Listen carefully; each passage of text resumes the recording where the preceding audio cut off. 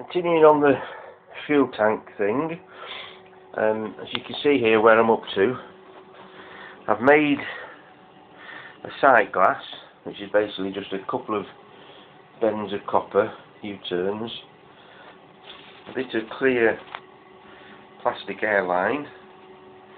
So what it's going to do is show me the level, roughly, of how much I've got in the tank.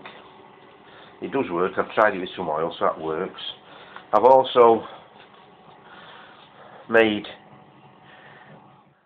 two takeoff points.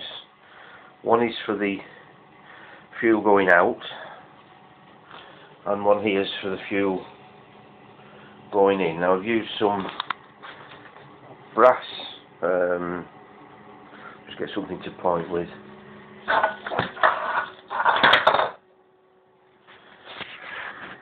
I've used some brass um,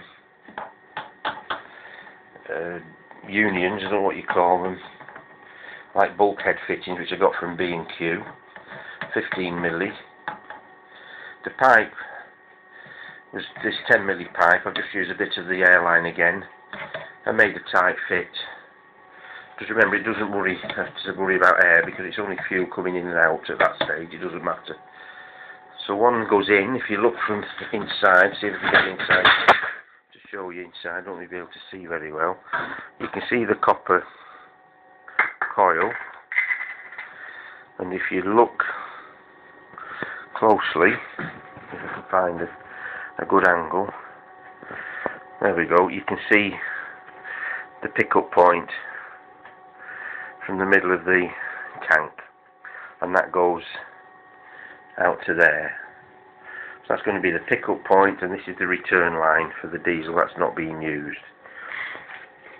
These two points here are the copper coil.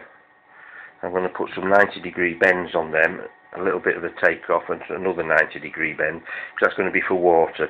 So I want the connection to be outside the tank so I don't want water possibly leaking into the into the oil. So my next job now is to seal up the lid, which I'm going to use little bits of uh, aluminium like that and just pop rivet them around the lid to make it a tight seal and then I'll put some um, silicone seal on.